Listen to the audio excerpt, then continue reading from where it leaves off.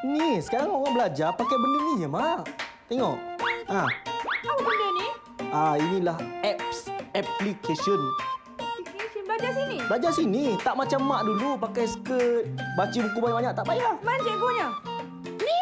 Nampak? Ah, nah, Mak belajarlah pula kat rumah. Tahu? Ah.